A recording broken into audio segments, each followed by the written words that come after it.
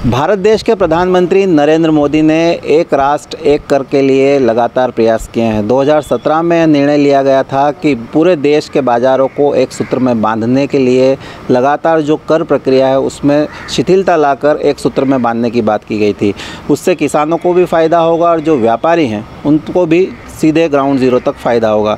लेकिन 2017 के बाद 2019 और 2021 2021 में भी व्यापारियों की मांग थी कि कर है, उसमें कुछ शिथिलता लाई जाए और जो पौने दो परसेंट के आसपास जो कर है, उसको 50 प्रतिशत ही किया जाए।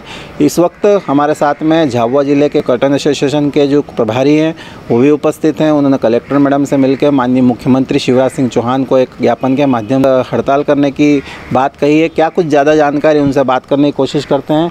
इस वक्त हमारे साथ में वरिष्ठ व्यापारी और उद्योगपति विनोद बाफना किन मांगों को लेकर आज कलेक्टर ऑफ़िस पहुँचे थे हमारी एक ही मांग है और जो पिछले चार पाँच वर्षों से रही है कि समान कर प्रणाली लागू की जाए।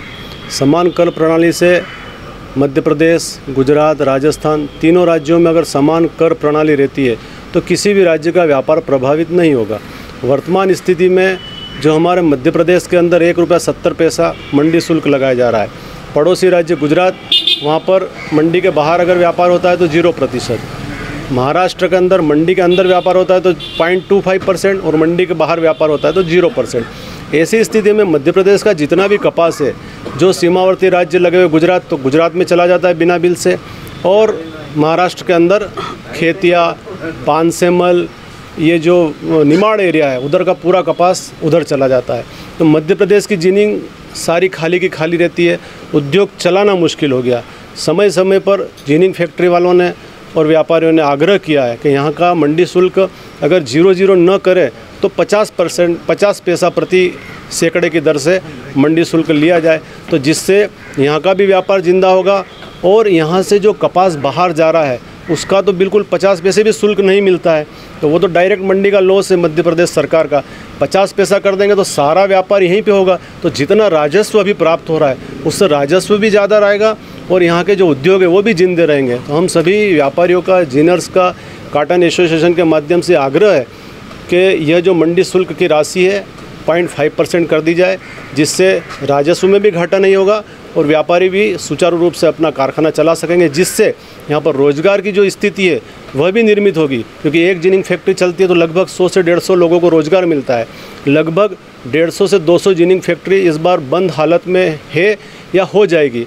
तो ये रोज़गार का भी लॉस है। तो सारी बातों को ध्यान में रखते हुए हमारा माननीय मुख्यमंत्री जी से निवेदन है कि प्रधानमंत्री की जो मनसा है, उसको भी ध्यान में रखें और मध्य प्रदेश में पॉइंट फाइव ज़ीरो मंडी शुल्क किया जाए। पॉइंट फाइव ज़ीरो मंडी शुल्क किया जाए, ऐसा कहना है वरिष्ठ जटन एसोसिएशन के पदाधिकारी, उनका ये कहना है।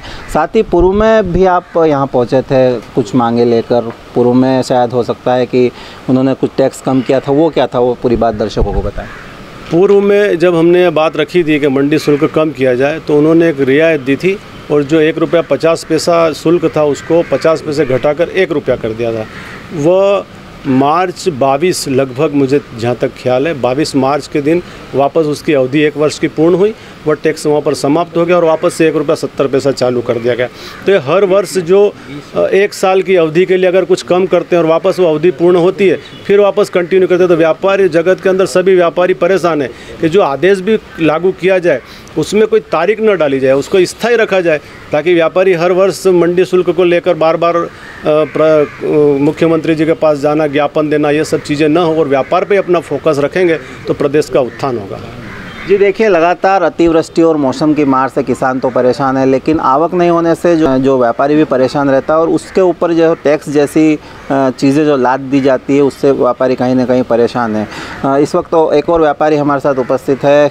क्या विशेष समस्या लेकर आए हैं?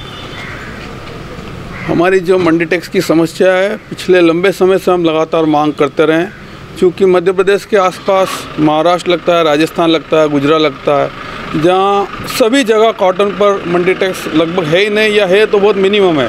और उसके कारण हम कंपटीशन में खड़े नहीं हो पा रहे हैं। यदि हम पिछले पाँच या सात वर्ष का रिकॉर्ड भी देखें एमपी का तो कई फैक्ट्रियाँ बंद हो चुकी है। और जो झावा ज़िले में भी आप देखें, यहाँ भी कई फैक्ट्रियाँ बंद हो चुकी है। और जो फैक्ट्रियाँ चल रही है, वो भी संघर्ष ही कर रही है। तो निश्चित रूप से यदि शासन इस ओर ध्यान नहीं देगा तो ये जो फैक्ट्रियाँ चल रही है, निश्चित रूप से वो बंद हो जाएगी। शासन को इस ओर ध्यान देना चाहिए और साथ ही साथ में जो रोज़गार के जुड़ी हुई चीज़ है कर्टन एसोसिएशन और जो यहाँ पर जो जिनिंग चलती है, कहीं ना कहीं यहाँ के क्षेत्रीय लोगों को, मालवा निमाड़ के लोगों को यहाँ लाभान्वित करती है। यहाँ का जो डी कपास है, जो लॉन्ग स्टैंड रहता है, ये विदेशों में भी इम्पोर्ट एक्सपोर्ट होता है। और साथ ही साथ में इन व्यापारियों की मांग है कि जो कर्म है, वो रियायत दी जाए। मुख्यमंत्री कितनी इनकी सुनते हैं तो आने वाला वक्त ही तय करेगा। फ़िलहाल कैमरा पर्सन मयंक भावसार के साथ एसएमएस न्यूज़ के लिए नीलेष भानपुरिया झाबुआ।